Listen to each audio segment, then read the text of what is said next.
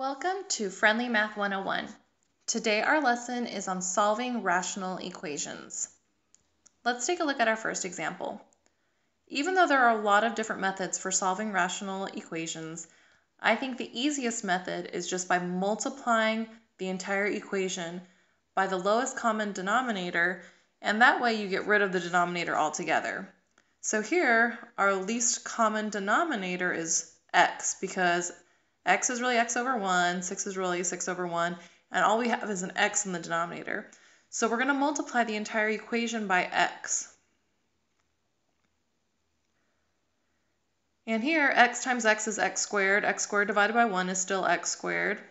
Over here, 8x divided by x, the x is 1 out because anything divided by itself, 1's out. So we're left with 8. And then over here we have 6 times x divided by 1, which is 6x. So now our equation actually becomes quadratic. And when we're solving quadratics, we want to set our equation equal to 0. So I'm going to subtract 6x from both sides. We get x squared minus 6x plus 8 is equal to 0. And I could factor this quadratic equation. So when I factor, it's going to be x minus 4 times x minus 2 equals 0. And when I set each of those factors equal to 0, I get x is equal to 4 and x is equal to 2. Okay, so we always have to check with rational equations if our solutions do in fact work. So I have to plug it back in. So here, when I plug them into x, you get 4 plus 8 divided by 4 is 2. So 4 plus 2 is 6. And then when you substitute in 2, you get 2 plus 8 divided by 2 is 4, and 2 plus 4 is indeed 6. So both of these solutions work. Um, they are not extraneous solutions. Let's take a look at another example. So here we have to remember that x minus 1 is a quantity together. So I'm going to put parentheses around those. And our least common denominator is going to be 6 times x minus 1 because those don't go into each other. So I'm actually going to multiply, and this is going to look a little strange, I'm going to multiply each term by 6 times x minus 1. And it's actually a lot easier than it looks because a lot of things are going to divide out. So here we're not going to distribute, we're just going to divide out the x minus 1 over x minus 1. And then what we have left to distribute is just x times 6, which is 6x.